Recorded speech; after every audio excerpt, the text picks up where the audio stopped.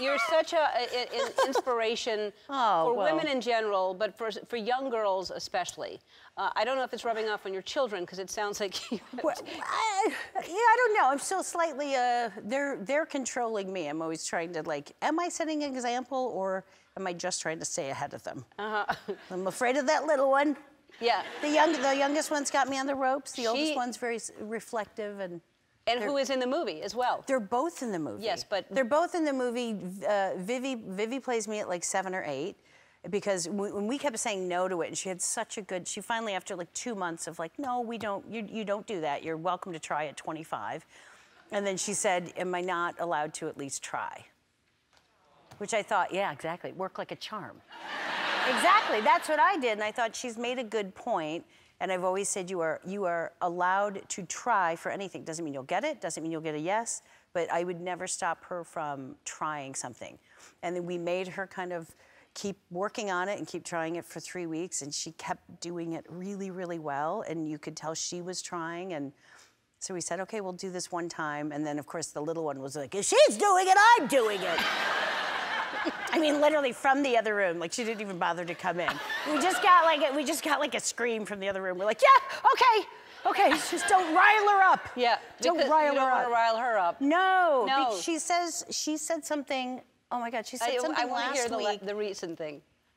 And I don't like the. We were talking about like, do you want a muffin or do you want cereal for breakfast? Like we were not on any kind of topic that she brought up, and I'm trying to get an answer out of her as I'm like getting breakfast together, and she goes, I don't want to take karate classes. Which we're already like, what? And she goes, I just want a guy I can kick and punch. and Ben and I both were like, and we just look at each other, and I'm like, we have to, f- we do have to actually figure out what that's for, about because we can't, because there was a moment where like, do we just, do we just, is that one of them we just let slide? Because I don't, I don't want to know the root of that. Uh-huh. And then we said, what did you say? And she goes, I don't want to take her out of class. I just want a guy I can kick and punch.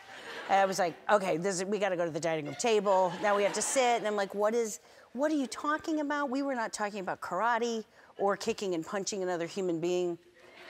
And she looked a little squirrely, like she may have been like, I may have tipped it. I may have gone over.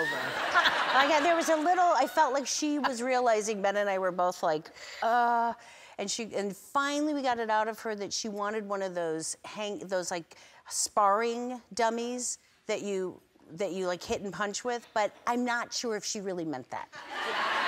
I think she may have been like, I gotta cover this up. So I'll say, I'll say I want a mannequin, uh-huh. but I meant what I said. She was like a vigilante in her first life, for sure. Because she'll For just sure. say, like, if someone comes in. It's always some kind of survival tactic. Like, if we were under siege. I'm like, what? No, why? What? Stop talking. Like, where is this coming from? And from? she's like five or She's six, and it's always like, you know, if my battalion gets in trouble, like, what about? It's always like, it's very militant. Oh, she's and hilarious. She's, you know, and you'd never know it was coming from her. She's like a little tiny blonde that just I- looks like it's great. I know they're little angels. I saw them at, when you got your star on the. Yeah. they- They're adorable.